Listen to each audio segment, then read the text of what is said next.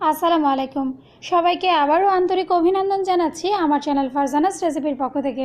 Friends, আমি আজকে আপনাদেরকে ইতালিয়ান একটা ডেজার্ট টিরামিসু করে দেখাবো। খুব সহজ এবং শর্টকাটভাবে ঘরোয়া উপকরণ দিয়ে কিন্তু আমি এই ডেজার্টটি আপনাদের করে দেখাবো। আর আমার রেসিপিগুলো যদি ভালো লেগে থাকে, তাহলে আমার চ্যানেলে সাবস্ক্রাইব করতে ভুলবেন না। তো চলুন গিয়ে দেখে নিই ইতালিয়ান ডেজার্ট টিরামিসু তৈরি করতে আমার কী কী উপকরণ লাগছে। প্রথমে এখানে আমি ফার্ম ডিম নিয়েছি তিনটা চকলেট স্পঞ্জ কেক, একটা কেকের তিন ভাগের এক ভাগ নিয়েছি আমি এখানে। আর এই স্পঞ্জ কেক রেসিপিটা কিন্তু আমার চ্যানেলে দেয়া আছে, আপনারা চাইলে সেখান থেকে দেখে নিতে পারেন। আর এই লিঙ্কটা আমি ডেসক্রিপশন বক্সে অবশ্যই দিয়ে দেব। সেই সাথে ছানা নিয়েছি এখানে আমি, দেড় লিটার দুধের। আর এই ছানার রেসিপিটাও কিন্তু আমার চ্যানেলে দেয়া আছে, আপনারা চাইলে দেখে নিতে পারেন। এই ছানার লিঙ্কটাও আমি ডেসক্রিপশন বক্সে দিয়ে দেব।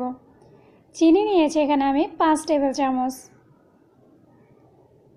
ইনস্ট্যান্ট কফি নিয়েছি এক চা চামচ।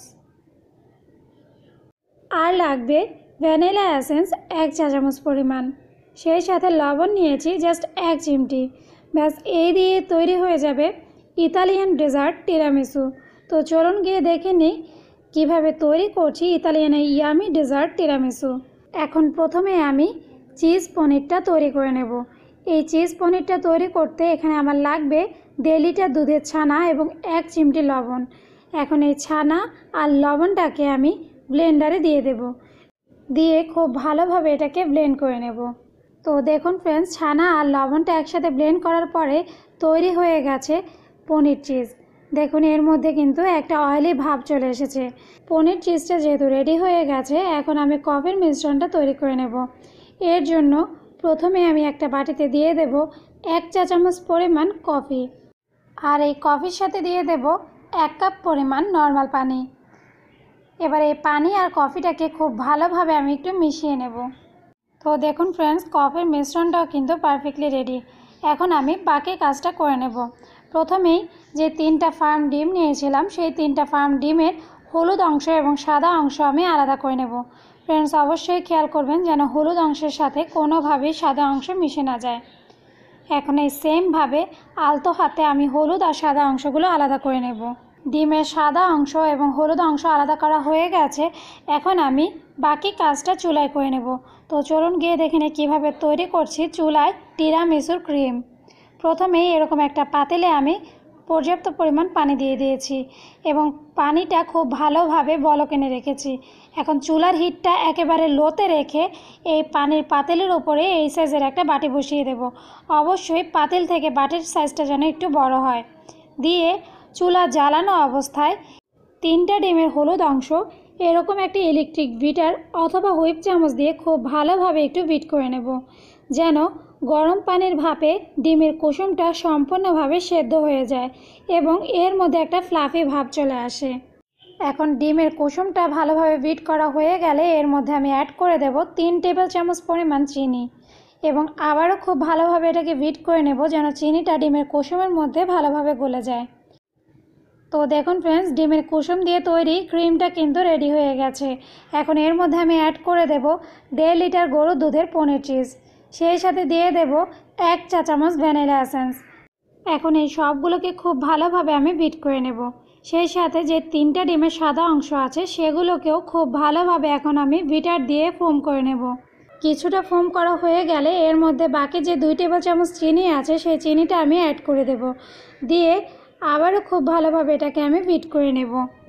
দেখুন, ডিমের সাদা অংশটা খুব ভালোভাবে ফোম করা হয়ে গেছে। এখন আগে থেকে যে ডিমের কুসুম এবং পনির চিজটা দিয়ে আমি ক্রিমটা রেডি করে রেখেছিলাম, সেই ক্রিমের মধ্যে সমস্ত ডিমের সাদা অংশটাই খুব ভালোভাবে আমি মিশিয়ে নেব। তবে এটা ফেটানো যাবে না, জাস্ট হালকা হাতে ঘুরিয়ে ঘুরিয়ে এই ক্রিমটা রেডি করতে হবে। তো দেখুন ফ্রেন্ডস সমস্ত ক্রিমটাই কিন্তু আলতো হাতে রেডি করা হয়ে গেছে।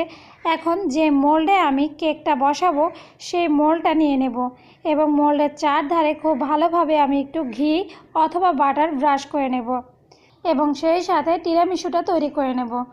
টিরামিশুর জন্য ক্রিম কফি সেই সাথে চকলেট স্পঞ্জ কেক সব কিছু কিন্তু রেডি এখন প্রথমে আমি যে মোল্ডটাতে কেকটা বসাবো, সেই মোল্ডের মধ্যে অর্ধেকটা পরিমাণ পনির চিজ ক্রিম আমি মোল্ডের নিচে দিয়ে দেব। দিয়ে মোল্ডের চার ধারে খুব ভালোভাবে ক্রিমটা লাগিয়ে নেব। এরপর এক পিস স্পঞ্জ কেক নিয়ে কফির মধ্যে চুবিয়ে ক্রিমের উপর বসিয়ে দেব। এভাবে আমি সবগুলো স্পঞ্জ কেকের টুকরোই কফির মধ্যে চুবিয়ে ক্রিমের মধ্যে বসিয়ে দিয়েছি। এখন এই কেকের উপরে দিয়ে দেব বাকি যে পনির চিজ ক্রিমটা আছে সেই ক্রিমটা। সম্পূর্ণ ক্রিমটাই কেকের মধ্যে দেওয়া হয়ে গেলে এখন খুব ভালোভাবে আমি কেকটাকে ক্রিম দিয়ে ঢেকে দেব। তো দেখুন ফ্রেন্ডস টিরামিসুটা কিন্তু পারফেক্টলি রেডি এখন এটাকে আমি সেট হওয়ার জন্য নর্মাল ফ্রিজে ঢুকিয়ে দেব চার থেকে পাঁচ ঘণ্টার জন্য। তো ফিরে আসছি ফ্রেন্ডস পাঁচ ঘণ্টা পর। দেখুন, পাঁচ ঘণ্টা পর টিরামিসুটা কিন্তু পারফেক্টলি রেডি এখন এটাকে আমি মোল্ড থেকে বের করে নেব। এর জন্য একটা ধারালো নাইফ দিয়ে মোল্ডের চার ধারে একটু ঘুরিয়ে নেব যেন মোল্ড থেকে টিরামিসুটা খুব ইজিলি ছেড়ে আসে। ব্যাস, হয়ে গেছে। এখন খুব সাবধানে মোল্ডটা আমি তুলে নেব।